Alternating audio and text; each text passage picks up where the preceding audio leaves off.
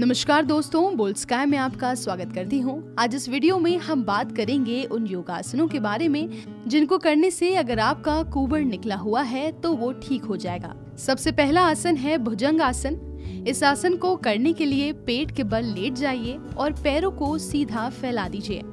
अपने हाथों को कंधे के नीचे ज़मीन पर रखिए और माथे को ज़मीन से छूने दीजिए। फिर शरीर को ढीला करिए और धीरे धीरे माथे को जितना हो सके ऊपर की ओर ले जाइए। अब अपने हाथों को सीधा करिए और फिर से सारी क्रियाएँ डिसेंडिंग सीक्वेंस में कीजिए। लेकिन ध्यान रहे, पीठ पर ज़्यादा खिंचाव ना रहे।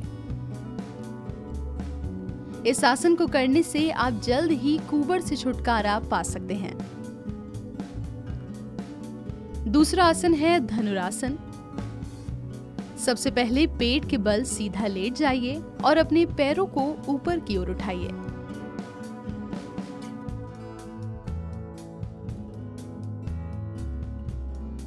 फिर अपने हाथों को ऊपर की ओर उठाकर पैर को पकड़िए।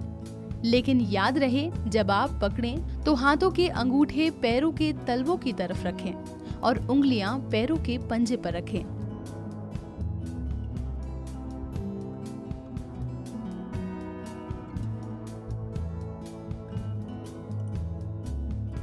इस आसन को नियमित रूप से करने से आपको कुबड़ से छुटकारा मिल जाता है। तीसरा आसन है सेतु आसन। हाथों के सहारे पैरों को सामने की ओर फैलाकर बैठ जाएँ और हाथ सीधा होना चाहिए। फिर पूरे शरीर को ऊपर उठाइए और सर को पीछे की ओर झुकाइए। लेकिन याद रहे, पैरों की एड़ियाँ ज़मीन से चिपकी हुई हो। इस आसन को करने से भी आपका कुबड़ दूर हो जाएगा। कुबड़ लोगों में कॉन्फिडेंस को कम कर देता है, साथ में कई प्रकार की बीमारियों को भी पैदा कर देता है।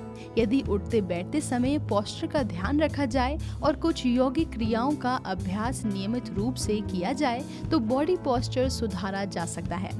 तो इस तरह आप इन योगासनों को करके अपनी कुबड़ की समस्या को ठीक कर सकते हैं। इस वीडियो में फ़िलहाल इतना ही। हम जल्द लौटेंगे ऐसे ही योगासनों के साथ। तब तक के लिए देखते रहिए बोल स्काई